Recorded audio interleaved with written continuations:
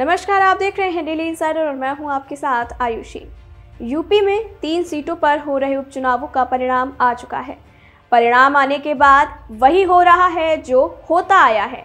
रामपुर की हार के लिए जिम्मेदारियाँ तय की जा रही हैं। खतौली की जीत के लिए श्रेय लिया जा रहा है और आरोपों, प्रत्यारोपों की झड़ियाँ लगाई जा रही हैं।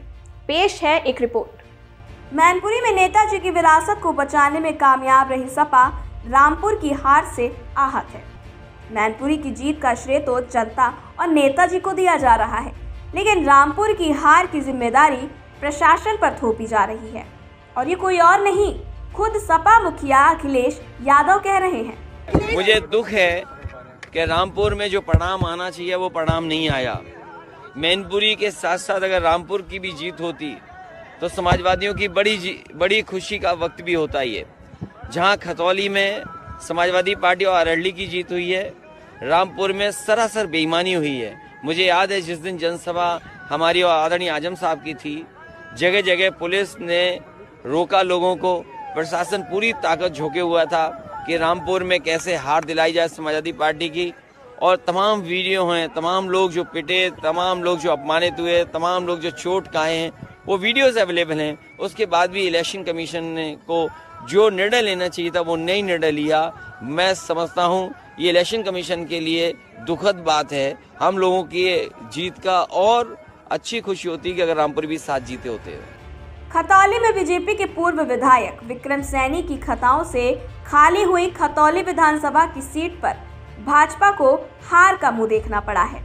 यहाँ विक्रम सिंह सैनी की पत्नी राजकुमारी सैनी को बीजेपी ने उम्मीदवार बनाया था और सपा रालौद गठबंधन की तरफ़ से मदन भैया मैदान में थे, जिन्होंने 10 साल बाद खतौली से रालौद का वनवास खत्म किया।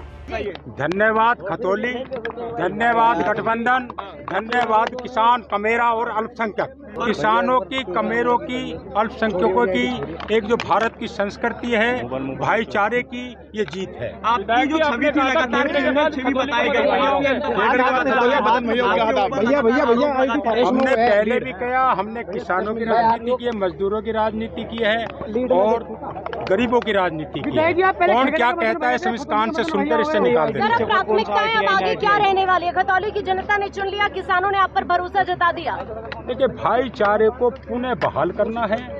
अरे जनता सबसे पहली प्राथमिकता हमारी ये है। और पुनः उसके बाद मुजफ्फरनगर अपने वैभवशाली गौरव पे लौटे और जिसे वो उत्तर प्रदेश को एक दिशा दे पाए। वहीं जब मदन भैया से उनके लोनी से आने को लेकर बीजेपी नेताओं द्वारा बाहरी कहने पर सवाल किया गया तो उन्होंने बीजेपी पर तंज कसते हुए पलटवार किया। अरे भैया, लोनी क्या पाकिस्तान में है क्या? क्या पाकिस्तान में है लोनी? आप ये बताइए।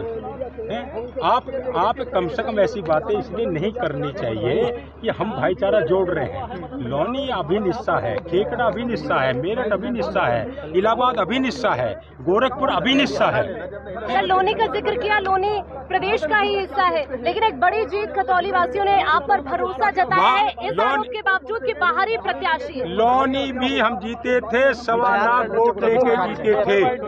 यहाँ का प्रशासन निष्पक्ष था वहाँ का प्रशासन निष्पक्ष नहीं हो पाया। फ़िलहाल अब चुनाव खत्म हो चुके हैं।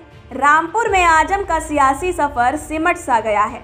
तो मैनपुरी में नेताजी की विरासत पर सपा की दावेदारी कायम है। इतना ही नहीं, खतौली में रालौद की घर वापसी भी हो चुकी है।